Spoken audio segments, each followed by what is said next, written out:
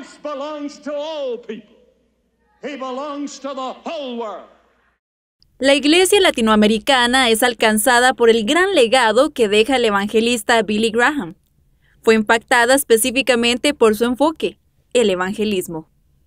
Yo creo que el doctor Billy Graham da un gran aporte a toda Latinoamérica por el trabajo evangelístico donde millones de personas fueron impactadas a través de ese ministerio. Billy Graham también sirvió de inspiración para que otros expandieran el Evangelio por el mundo. En Latinoamérica hay un caso en particular. Se trata del evangelista argentino Luis Palau. Uno de los grandes legados de Billy Graham es Luis Palau. Palau empezó traduciendo a Billy Graham. Palau este, se fascinó con Billy Graham. Eh, Palau, este, eh, al tratar con Billy Graham, entendió que Dios lo llamaba a eso. Eh, tú sabrás que, los televidentes sabrán que en muchos lados han dicho que Palau era el Billy Graham de la América Latina. Palau se considera un hijo de Billy Graham. Aprendió junto a Billy Graham. Billy Graham le dio respaldo a Palau. Además de su impacto en el evangelismo, el predicador Graham también fue reconocido por su influencia en líderes políticos.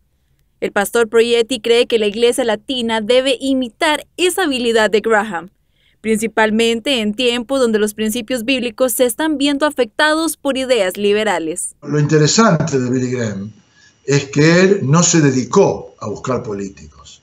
Él no es que fue, eh, eh, que, que encasilló su ministerio y su predicación, ese es otro peligro, para hacerlo de carácter político, elocuente, eh, que llame la atención, que lo busquen. A Billy Graham lo han buscado por su autoridad espiritual.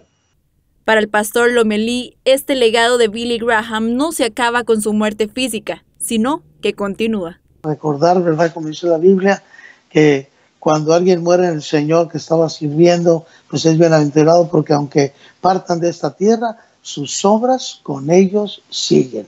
Así que la obra que dejó Billy Graham aquí continúa con un legado maravilloso, no solamente en Estados Unidos, Latinoamérica y en el mundo entero. Stephanie Sánchez, Mundo Cristiano. Father God is through his son, Jesus Christ.